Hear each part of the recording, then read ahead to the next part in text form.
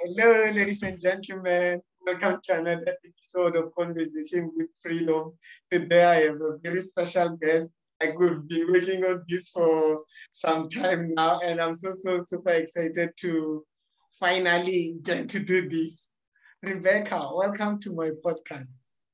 Hello, Freedom. Thank you. Thank you for having me with you today. And thank you for your patience for waiting for one month of health recovery for us to be able to have this conversation today.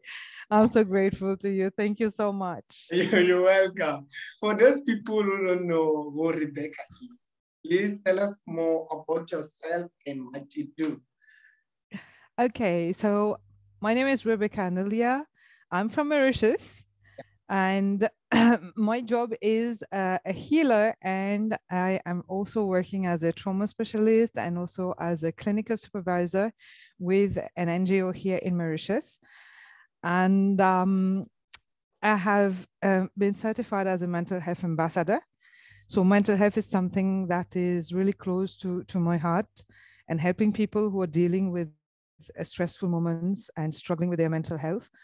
And um, pertaining to this with a colleague of mine, we have decided to launch here in Mauritius something yeah. which is amazing because last month we celebrated our first year of this activity all around the island, which is called the Mental Health Mental Health Roadshow for Mauritius. Yeah.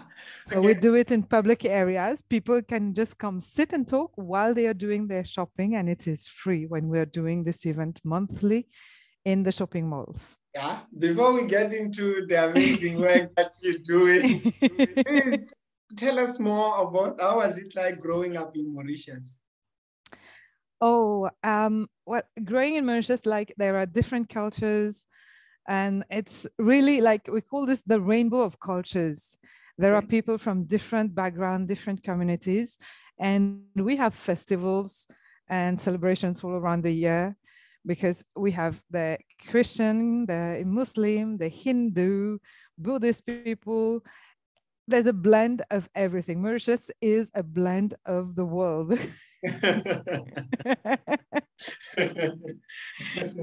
okay. Yeah, so it's um it's an island next to, to the huge island Madagascar.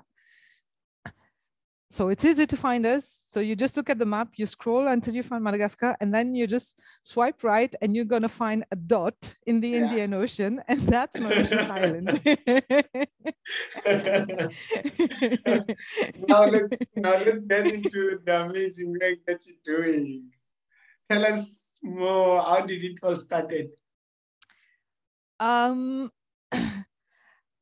this is a really nice question because uh, last last weekend uh, I participated in a in a talk, and the host introduced, and the way he introduced it, it reminded me that he was absolutely right. Being a healer, I didn't choose, but healing chose me. so, so yes, I I, lo- I just love what I do nowadays. I didn't plan to to be a professional healer to make it my day my my, my job mm-hmm. and to become a mental health therapist and all of that. Um, i started my career in the corporate. Mm-hmm. i had a regular nine to five job. I was just doing things and then one day i was like i had i have something to do. I need to find what i have to do. And then at the, the age of 30 years i think you wake up at one moment in your life and for me it happened at, at 30 years. I got the huge wake up call and it was loud and strong. I couldn't do anything about it. So i engaged on my spiritual path. I went back to learning about spirituality. And thanks to my spiritual master who accepted me who has been taking me under his shelter ever since that I am the person talking to you today, sharing everything I am able to share with you today.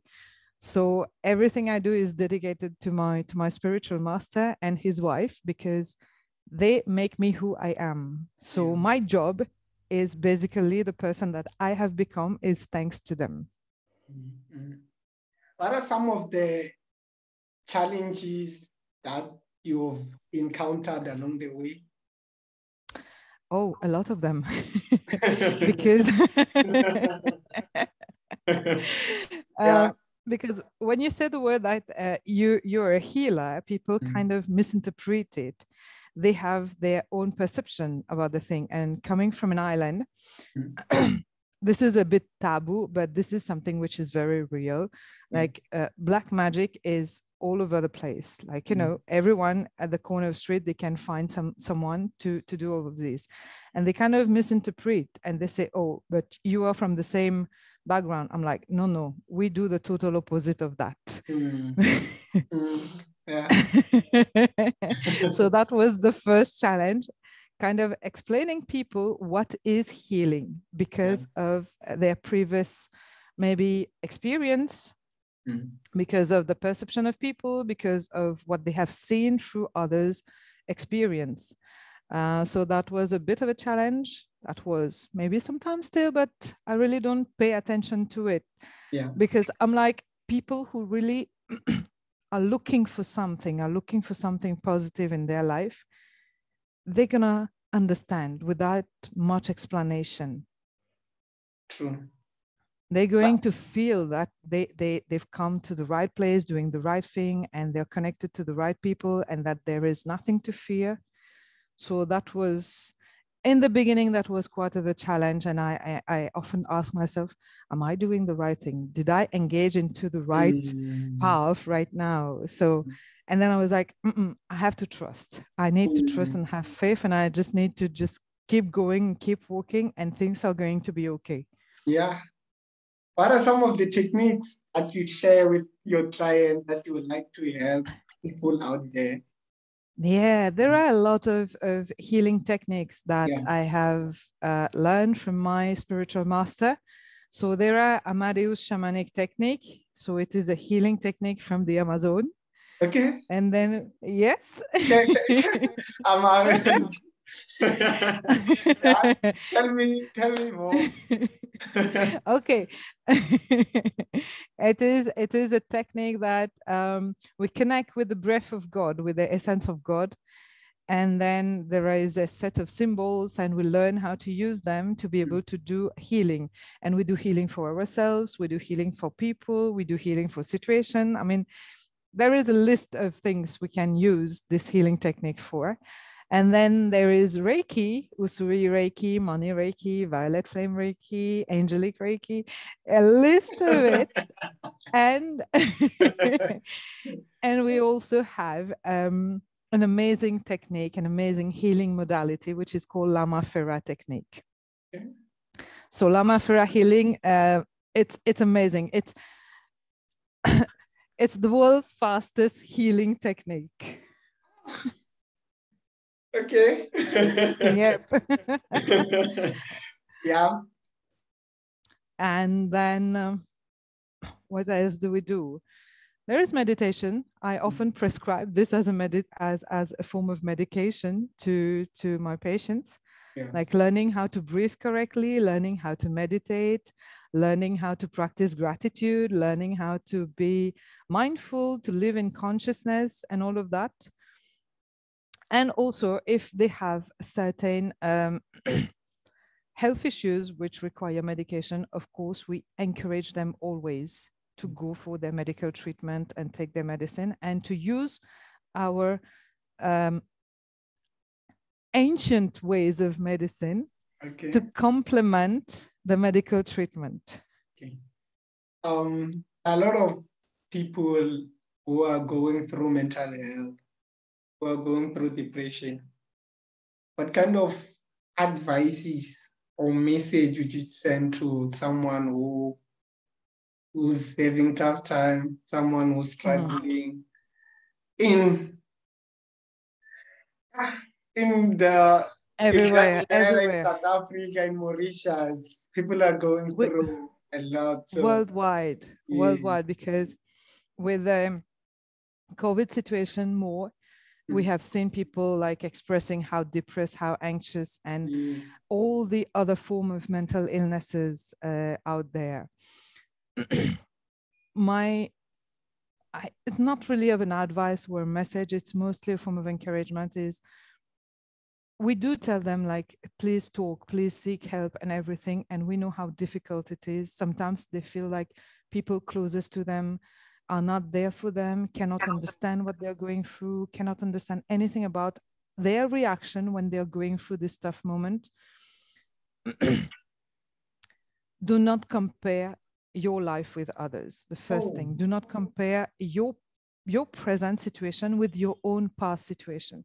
Because people people often uh, get depressed and they fall into the depression either because they compare yeah. with others or they compare their present life and they always are oh life in the past was so good. Oh i wish i could go back to this time. And they forget that they are in this moment right now and they are missing out on something great because they they have not been able to let go of what is past. Yeah.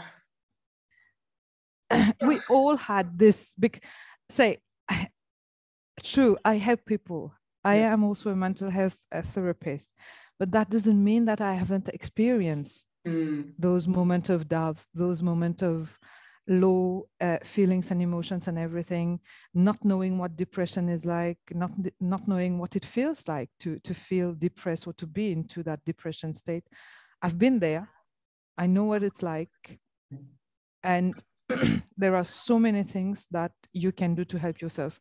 But my advice would be mostly for the one who can recognize or who can see that their loved ones, their close ones are going through that tough moment. Yeah. Hold their hand. They just need a silent friend mm. next to them to make them feel less alone.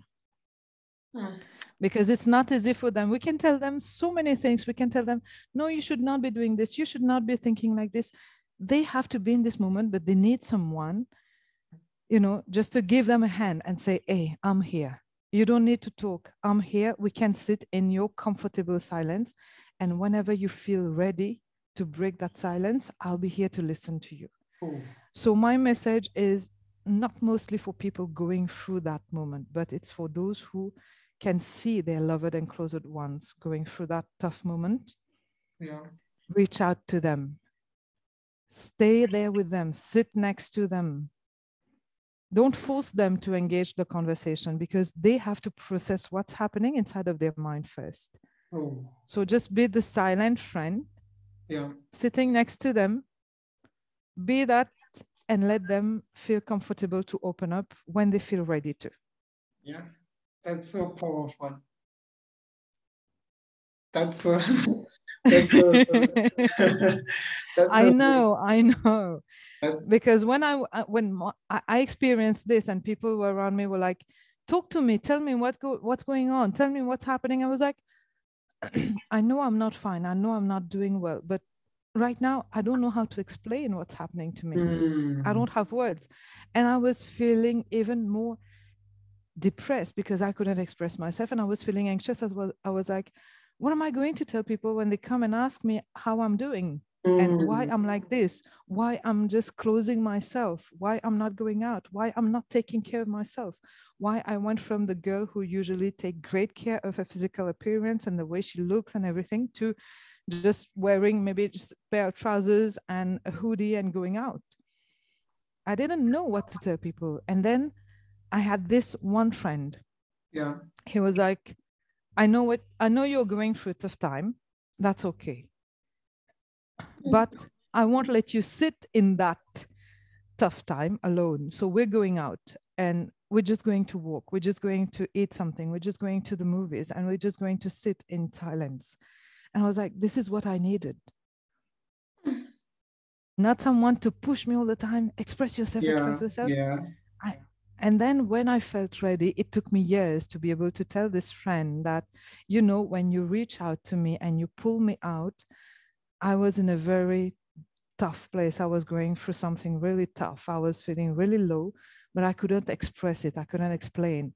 And it's only years later that I, now I can tell you I was going through this, I was going through this, I was going through this. Mm. So it it really takes a lot of time yeah and we can tell them okay you should go to therapy and and all of that as a friend you can tell your your closed one okay, you don't want to talk to me, go talk to a therapist. But the person going through that is going to feel like if I cannot express what I am going through to my closed ones, how am I going to talk Yeah. to a stranger? Yeah. But rest assured, therapists are trained people who know how to engage the conversation with you and who know how to make you feel comfortable to break the silence and to get out of that cocoon and express Yeah. yourself. Wow. Oh. that's so so that's a profound. that's a lot. That's a lot. No, that's so profound. What kind of advice would you give to your younger self? What kind of advice I would give to? Your younger self. Oh, my younger self. Uh, if I meet my younger self today, I will tell her,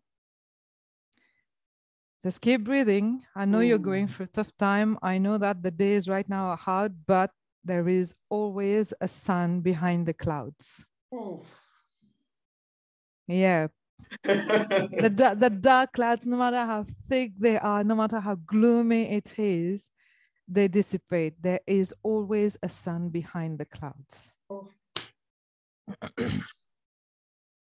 and this is not only to my younger self because the, the, the tough days don't, don't like they don't last forever but they don't go away forever as well so you have Mhm. like a wave It- we go up and down we go up and down we have our happy days we have our low moments Mm. so this is something I remind myself even now when I go through a tough time. Uh, I say, okay, today is not a good day, but Yeah. it might be just five minutes. It's not going to last the whole day. Mm. And even if it lasts the whole day, like there is a pattern, there's a sequence of not so good things happening during the whole day, I'm like, let's go to bed. Let's be grateful. There has to be at least one good thing that has happened to you. Let us focus on that one good thing. Let us be grateful for that. Let's go to bed. And tomorrow is a new day. We're not going to repeat today, tomorrow. Wow. Who are, you, who are you inspired by? Say again. Who are you inspired by? My Guruji, my spiritual master, Yeah. he is the one, yes, he is the one who has inspired me through the years. Actually, he was my high school teacher. Wow. And I met, yeah, I met him when I was 15 years old, and he was my English teacher at high school. And uh, he was already a spiritual teacher also at that time. okay. But then it took me 15 years to connect again Wow. and to become his spiritual student and to become his disciple. How how does it feel working with working with someone who you grow up looking up to? Oh, um, it's an incredible feeling. It's like, you know, we have that um it's a very deep spiritual connection and relationship. Yeah. Um he is my spiritual master, he's my guru, he is also my spiritual father, Yeah. and his wife is my spiritual mother. Wow. and you know like you do have like your, your family your blood family your relatives Mhm. but when you connect with that spiritual family it's really deep. It's another level of connection Mm. and the love which is there. It is i've experienced unconditional love with my guruji and his wife. Mm. that that this is what has changed me. This is what has it it, it changed my heart i can say. Yeah. yeah. Share with us the, the amazing work that you're doing, roadshow. Yeah, the mental health roadshow because we are having one this week. Uh, Yeah. So this Friday, yeah, this Friday in Mauritius, we're going to have a mental health roadshow. So it is a monthly event that Anwar uh, Madabukas and myself um, do in different shopping malls, and we are so so grateful to the amazing marketing teams of each of these malls uh, for um, supporting us Mm. in raising awareness around mental health and all and all of that. so what we do is just we set up four chairs, two for ourselves and two for anyone who want to come and sit and have a conversation and talk about anything that's worrying them, any emotional pain that they're feeling, and we just sit there, you know. and we, wow. we just okay, if you need someone, we have a, a, a, really nice poster. Yeah. That we put next to them. Uh, uh, if you need to talk to someone, we are here to listen to you for free. Mm. So we decided that for at least for a few hours, one day per month, we give of our time to people. Yeah. Wow. So that when they're doing when they're doing their shopping and everything, so something might have been bothering them, something might have been been heavy on their heart and they don't have anyone who can listen to mm. them or they're mm. scared that expressing themselves people might judge them people yeah, might see them yeah, differently. yeah, yeah so we just here we just sit there and we welcome those people. How was it like in the beginning? How was it like in the beginning? That was a really new thing because that was a really new thing and people were like passing in front of us and looking and looking at the poster and we just greet them it was a bit difficult it is still difficult because we have to wear the mask so yeah. and we cannot just sometimes we just drop it and we say we, we smile to to the people so that they can see like they don't have to be scared they shouldn't be scared so that they can Ooh. see who's behind the mask and yeah. who they're gonna sit and talk to and that's what we do. But nowadays people like they have become um, i think acquainted to that event to that monthly event mm-hmm. because we share on social media we share on our pages like what where we're going to be every month. Okay. And also the media in mauritius has been very very supportive. Uh-huh. they have been promoting they have been publishing articles. Yeah yeah so now most people know about about the activity. Okay. Yeah. That's great. great. But it was mostly, yeah, it was mostly to let people know that instead of just saying that, okay, we are here, come to us. Yeah. we decided to put ourselves forward to be in public and to sit there and leave them this space to mm. choose to come and sit and have a conversation. Wow you you guys you guys are doing amazing work and i'm so so inspired by the work that you're doing. What's next for for rebecca? Where would you like to see yourself in the next five or ten years? That's a lot. I just hope that i end this year. Yeah.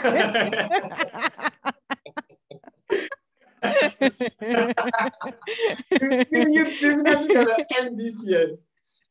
Yeah we just hope to, to reach the end of 2022. Yeah. Um, where do I see myself? Um, just doing, just following the the the, the guidelines of my Guruji, mm. and to be able to to do what he he wants me to do. Yeah. It's nothing to do now with my like you know when you go to to a job interview and they ask you okay so what do you want to, to, to do and which position you want to be in in a few years? Yeah. I think um, i've i've overcome this stage. Mm. yeah. I i feel like i'm i'm exactly where i have to be and doing what i have to do. Uh, i'm really passionate about healing and teaching healing modalities to people who want and who are willing to learn helping people overcome difficult moments, difficult situations that they are going through and they cannot see the light at mm. the end, you know, just yeah. try to walk a bit with them until they are like, okay, now I can see the path and I can wow. go my own. I'm like, fine. But in the years to come, I'm not going to say where do I see myself in three years, five years, or 10 yeah. years, but in the years to come, I just um, hope that I'll be able to do what my Guruji wants me to do. Wow. That's all. Wow. and maybe visit you in South Africa or you come to Mauritius and we can have a chat uh, around a coffee cup. You know, that would be amazing. that, that would be so. We need to make it happen. We need to make it happen. To happen. Like in the next two or three years, I'm definitely going to meet you guys and we're going to do some incredible work. This is happening. This is happening. Definitely, definitely. Do you have any books recommendations, books that you have helped you maybe along the way? Oh, yes, there are lots of books, and um, one which I'm rereading at the moment. Yeah. It is a book by uh, Radhanath Swamiji, and it is called The Journey Home. Okay. It's about So us. the journey.